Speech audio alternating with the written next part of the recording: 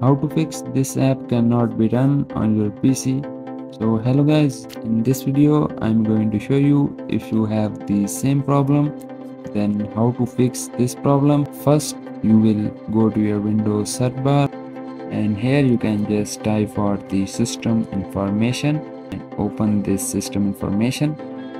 So here you will just see your os name and version of your pc and in the last you will see the system type.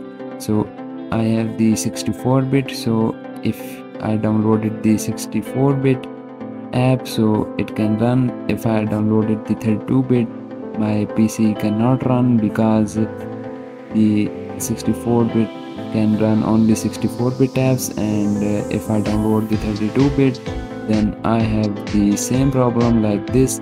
So this app cannot be run on your pc so basically what i mean so you have to uh, just see your app specification your pc can run this app or not.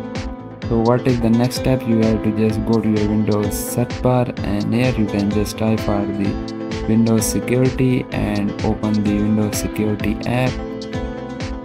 And here you have to just click on this app and browser option and click on this reputation based protection option and if you have on this you have to just off this click on the yes and close it.